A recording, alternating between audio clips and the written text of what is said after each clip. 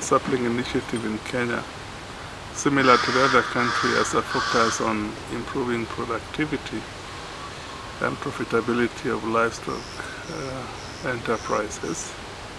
Uh, of course, in Kenya, we were focusing on two value chains, uh, poultry and dairy, but I'll talk mostly or exclusively about the dairy activities that we were implementing in three counties in Kenya, the smallholder dairy systems, in collaboration with cooperatives and the dairy cooperatives and county government.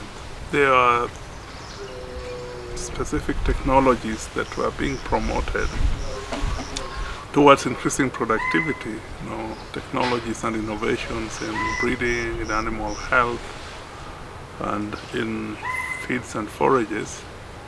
But the question was how do we bring them together to bear on improving productivity at the farm level. So we needed a mechanism for integrating all these uh, technologies and innovations together so that the farmers could benefit from the, the synergy that you you get when you bring all the technologies to work together as opposed to what previously we have done where we would find you know ourselves working on particular interventions or technologies and was losing out on the complementary benefit of bringing the technologies together. So we thought about you know how best to do this and we thought that you know focusing on improving productivity or using people who would look at the farm as, as a whole or in totality to look at how to improve productivity from every perspective would be people who are working with farmers directly on various interventions trying to understand you know what are the limit limitations in each farm. And that requires extension services because extension services are usually looking at farms in totality. The challenge is that the previous extension approaches have not been targeted, so they rely mostly on group training with farmers in, local, in localities that are far removed from the farm setting.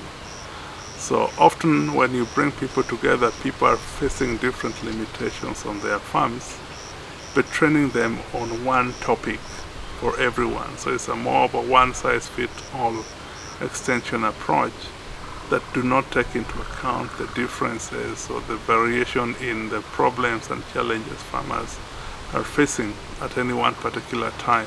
So we proposed to have an individualized extension approach that focuses on identifying the needs of the different farms and then developing uh, solutions with the farmers based on their particular needs or their main limitations that all the factors that are limiting their production and profitability of their enterprises. So we proposed to experiment or to test this individualized extension approach where we would have an extension person that is dedicated to specific number of farmers, visiting them at home, identifying their needs, and based on those needs, developing a development plan with them on how they want to grow productivity and turn their farms into profitable enterprises. And that is the, the basis for the Dairy Farmer Advisor Extension approach. While we do not yet have uh, comprehensive or conclusive evidence on the impact of this model, uh, we have a strong feeling that being more targeted and farm or context specific, we expect that it would lead to increased adoption of appropriate practices. Anecdotal evidence that we see when we visit some of these farms shows that farmers are beginning to look at their cows differently. And we believe that this is going to have an impact not just in terms of how they treat or handle their animals but also flow into impacts on productivity and profitability because the advisory is supposed to help farmers also organize or optimize on their resources so that they reduce cost of production and that would eventually lead to cost saving and eventually to profitability. So we expect that this should be a more superior uh, extension approach and could have uh, greater impact on behavior and results of, of farm practices. But uh, of course it comes with some challenges. So when we were testing this model, we rolled it out as a co-payment model because you know it's, it's, it's more of a private sector embedded extension approach. Uh, of course here run by cooperatives. So we are to convince farmers that there is need for them to pay for extension if they want to get more quality extension services. So we, the project paid for part of this service while farmers were expected to pay this through milk proceeds. Some of them pulled out of the co-payment process. Therefore, that somehow compromised the, the quality or, or the number of visits that they were receiving from the service providers. But some of these providers were quite, uh, the DFAs were quite proactive. So where they saw opportunity for change, they continued to provide the services even when the farmers were not paying. So that uh, brought back a challenge to us where we have been asking ourselves, so if we finally find out that this model is more effective in terms of changing practices and bearing results on farms, what is the best way through which we can sustain this model? And our current conversation is leaning towards identifying businesses within the cooperative or within the milk value chain that would benefit most from advisory services. So one of some of the businesses that benefit most are the businesses that actually sell inputs, whether it is feeds, herd health products, and all that. When farmers are more aware and appreciate the values of these technologies and inputs, then they continue to demand more from these. And from some simulations that we have, it shows that you know if farmers adopt better feeding technologies based on silage and concentrates and all these, there is a huge business opportunity for people who are doing this kind of business.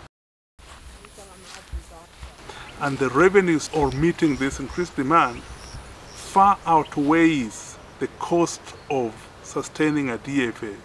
If you are talking about one DFA supporting 50 farmers, and each one of these 50 farmers demanding certain amount of, of forages, whether it's hay or silage and concentrates, that revenue stream can comfortably pay for the DFA and still the businesses would be making money.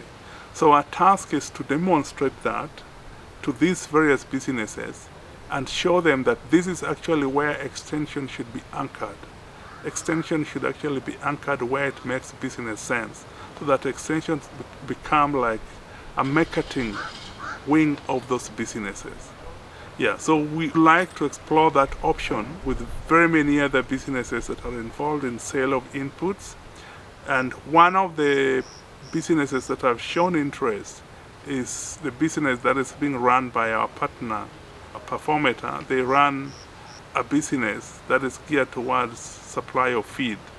They are establishing feed centers this feed center business is being managed through another subsidiary they have called Cowdish.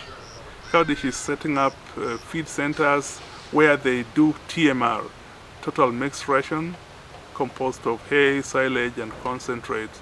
And they are trying to calibrate this for different types of cows because from their feed trials, it shows that with a proper TMR, you can actually double milk, product, uh, milk productivity per cow and therefore they need somebody who can go out, talk to farmers and demonstrate to them that there is this feed product that we have that would help you grow your uh, productivity and profitability as a way of creating demand for the feed products that they are marketing.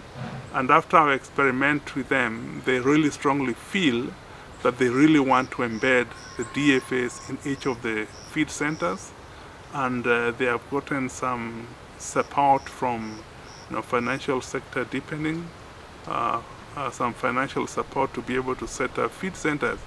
And when they shared together with us uh, the, the intention uh, with FSD, I think FSD was very keen and they have insisted that they want to test the DFA as part of those businesses. So we see that as an opportunity of sustaining uh, this model going forward and uh, you know bringing together other innovations around the DFA that can make it more sustainable.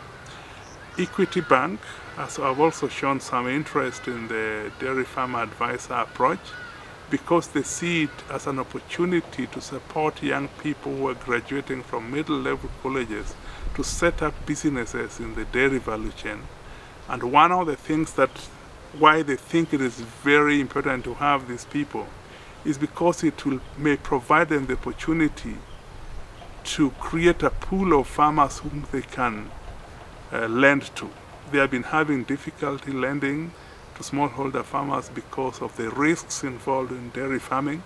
But they think if there is somebody who's walking the journey with the dairy farmer to help them in improve their production and increase their profitability, then the farmer is actually being de-risked. And therefore they see the opportunity to grow farmers to become viable uh, borrowers based on this de-risking mechanism that is enhanced through these embedded advisory services.